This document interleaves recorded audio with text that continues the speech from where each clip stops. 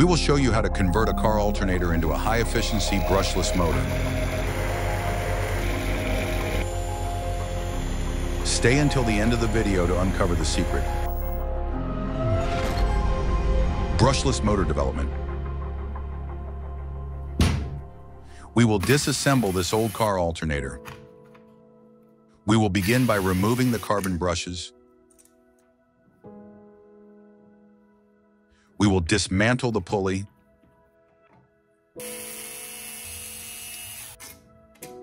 And remove the diode rectifier.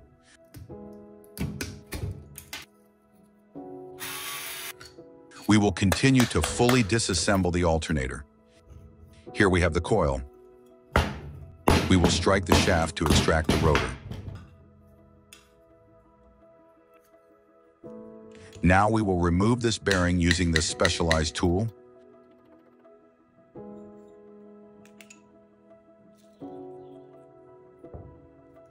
We will also extract the brush holder assembly.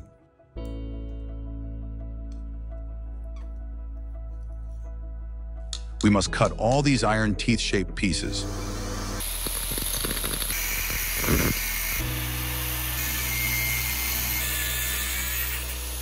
We must also remove all the copper winding.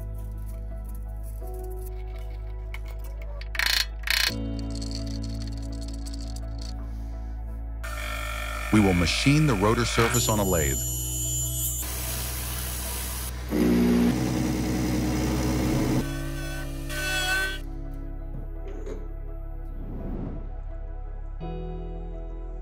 We have fabricated this special component to adapt neodymium magnets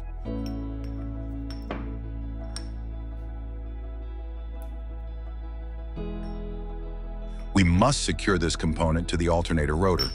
To do so, we need to tighten these two screws. On this component, we need to attach all these magnets. We will glue them with cyanoacrylate. First, we will attach all the magnets with north polarity on their outer faces. We now have the first row of magnets with north polarity. We will continue attaching the second row of magnets with north polarity. This process is quite delicate. We will now proceed to attach the magnets with south polarity. They should be alternated north-south, north-south. We will cut this plastic container. We will also trim the CD.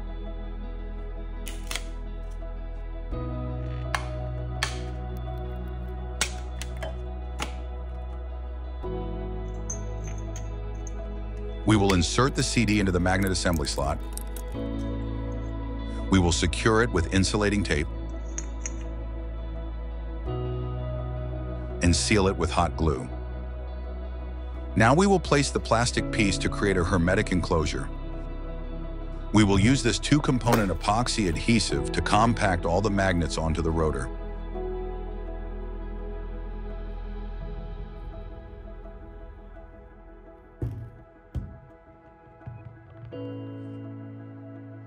We will pour the epoxy adhesive slowly to avoid air bubbles.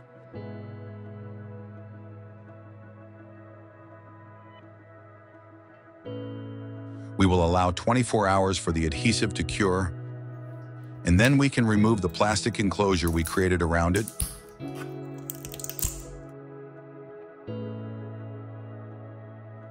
We will bend the blade slightly to extract all the plastic. Will now machine the rotor on a lathe to achieve the exact dimensions and ensure it is fully balanced to prevent vibrations.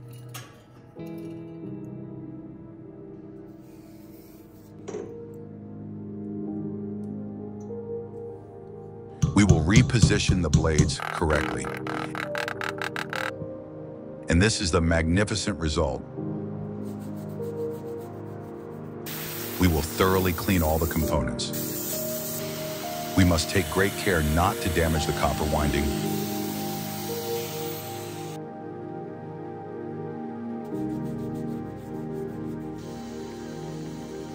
It is now restored to like new condition. We will now assemble all the components.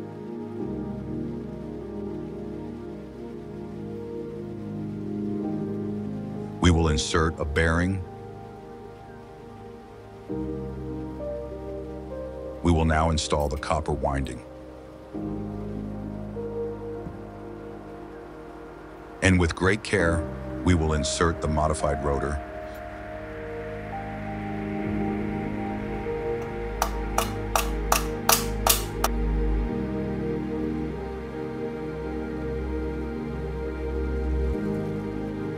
we will place the top cover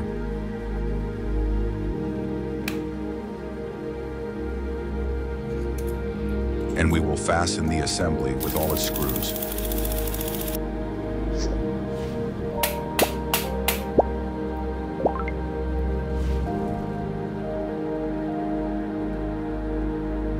We will also install a pulley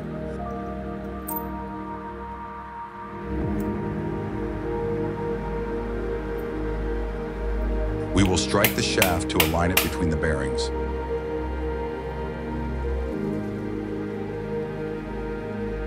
And now we have the motor fully assembled.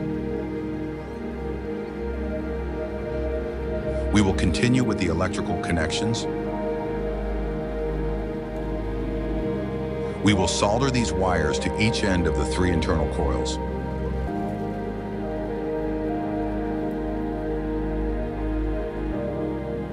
First, we will tin the ends of each coil. And now we will connect them in a star configuration.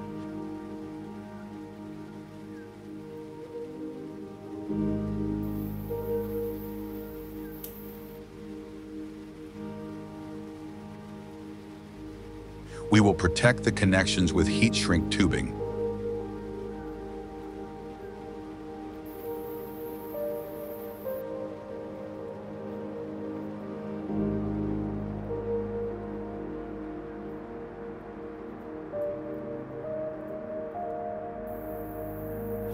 This is the completed star connection. We will now solder the motor power supply wires.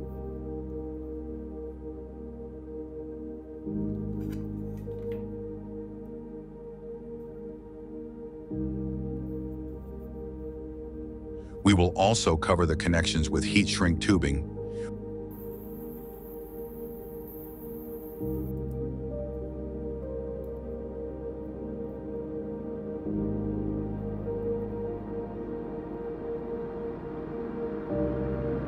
secure all the wires firmly with cable ties.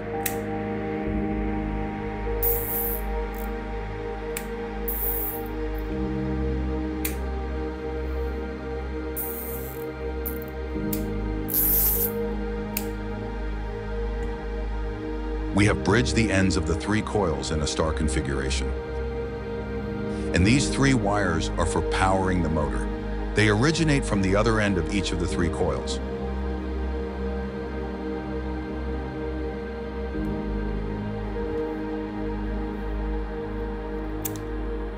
We will strip the power supply wires. We will attach electrical terminals.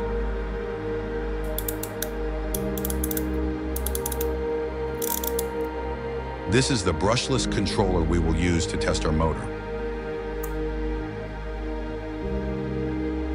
It has a potentiometer for adjusting the motor speed. It operates with a direct current voltage of 18 to 55 volts, and it supports a current of 30 amperes. This is the output port where we will connect our brushless motor. You can find the purchase link in the video description. We will use this power supply to start the motor.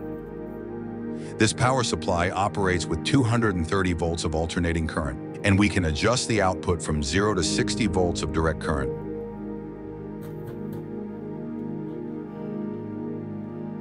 We will connect the plug and attach these wires to the brushless controller. The negative with the black wire and the positive with the red wire. We will turn on the power supply and adjust the output voltage to 55 volts.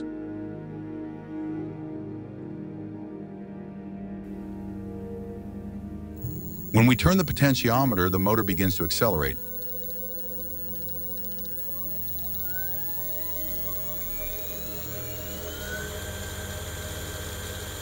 We have reached the motor's maximum speed.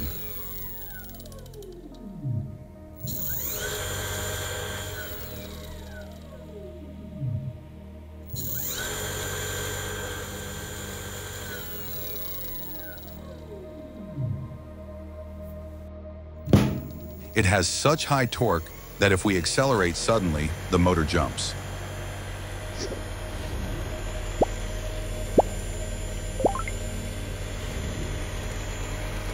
It is very quiet and very powerful.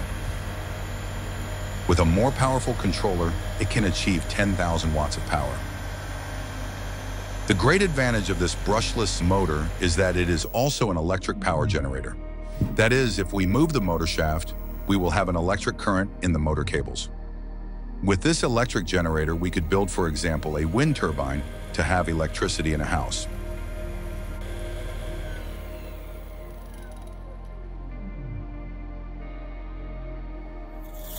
We will measure the motor speed.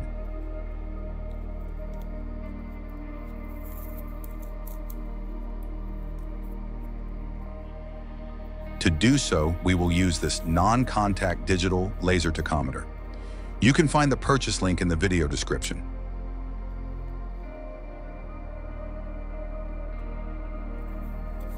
To take the measurement, we will attach a piece of reflective adhesive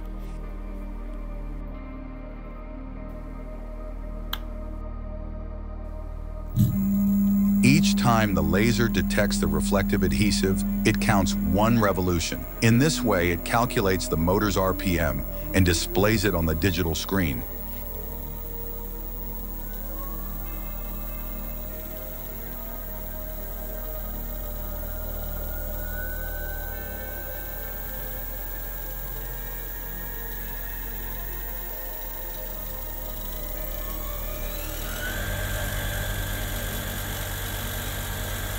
Reaches a maximum speed of 2,875 RPM with 55 volts DC power supply to the controller.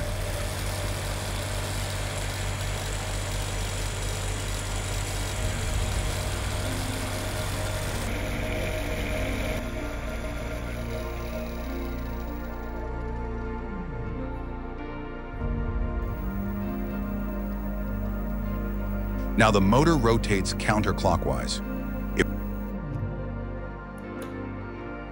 If we want to reverse the direction of rotation of the motor, two of the three power supply cables must be interchanged.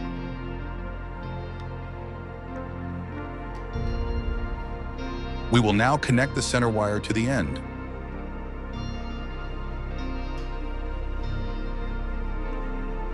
We will turn on the power supply again. And now when we turn the potentiometer, the motor rotates clockwise.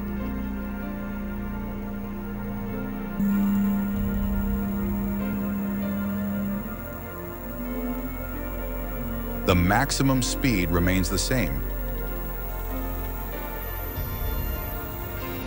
It has significant power. Leave us a like if you enjoyed this video. It will help us continue creating content. Thanks to all of our members for their support. Become a member to support our videos. Share this video and join the energy revolution.